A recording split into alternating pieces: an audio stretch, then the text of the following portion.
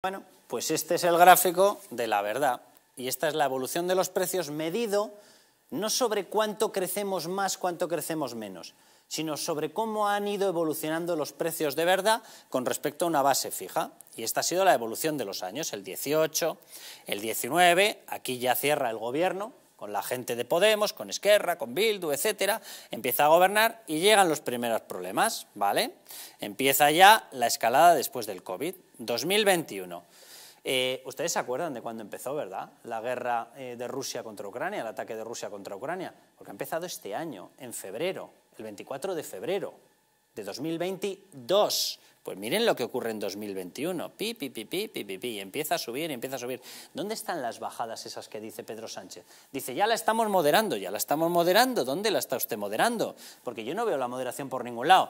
¿Qué es lo que nos ha ocurrido? ¿Por qué dice que ahora subimos menos que otros países? Porque ha sido tal la brutal escalada que como las nuevas subidas se miden con respecto a las de hace un año, nosotros llevamos escalando tanto de 2021 que ahora porcentualmente subimos menos que los demás. ¿Por qué? Porque los demás están por aquí entonces, aunque hagan así, nuestra subida porcentualmente va a ser menos que la suya. Pero este gráfico muestra la realidad de nuestros precios.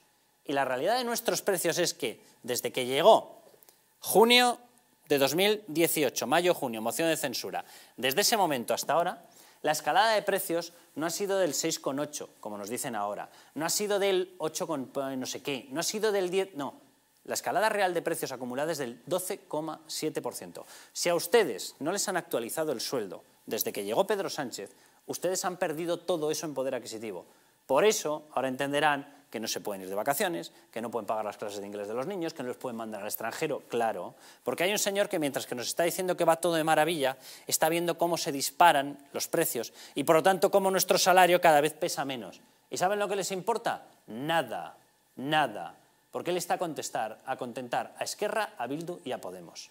Esta es la realidad de nuestra pérdida de poder adquisitivo, es decir, de nuestra escalada de precios. Si ustedes no han tenido compensación, que sepan que toda esta escalada, toda esta escalada de precios, significa que han perdido capacidad de pago de la comida, de las vacaciones, de los estudios de sus hijos, de la calefacción, de la electricidad, etc. Esta es la realidad.